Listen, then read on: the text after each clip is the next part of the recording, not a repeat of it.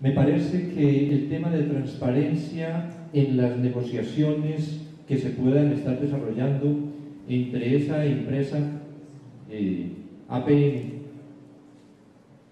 que es la actual propietaria de los puertos de la terminal de contenedores de Barcelona, y entre ellos el de la terminal de contenedores Quetzal. La transparencia de esas negociaciones debemos medirlas por sus resultados. Entiendo que no son reuniones exclusivas del presidente de la República, sino con su equipo y que se está buscando la mejor solución que esperamos efectivamente sea totalmente transparente. Confiamos en que así se está haciendo por nuestra participación como querellantes adhesivos en el proceso penal.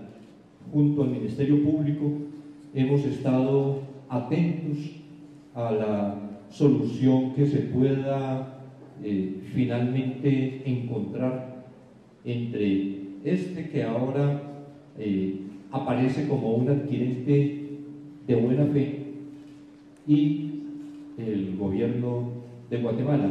Pero ya son elementos que en la negociación seguramente, y, reitero, confío en que el presidente de la República y su equipo, por algunos conocimientos de, lo que se desarrolla, están actuando defendiendo efectivamente los intereses del país, que así quede traducido en los acuerdos a que lleguen si efectivamente llegan a algo.